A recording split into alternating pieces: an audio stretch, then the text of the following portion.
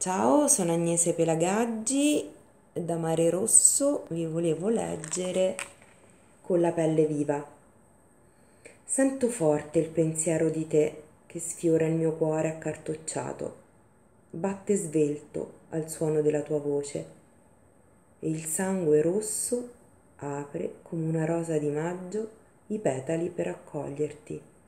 Sei lontano fra le onde di una vita sconosciuta e temo che il vento porti via con sé i sussulti e i palpiti fino all'orizzonte, dove tutto sparisce e si separa dagli occhi che vedono. Posso solo immaginare, stringere forte e aspettare che il mare che si muove silenzioso nella notte dondoli il mio desiderio e lo stampi sulla pelle nuova nata sotto la tua mano che dolcemente la sfiorava e lì, iscritta sulle pieghe del mio corpo, rimanga fino al tuo ritorno.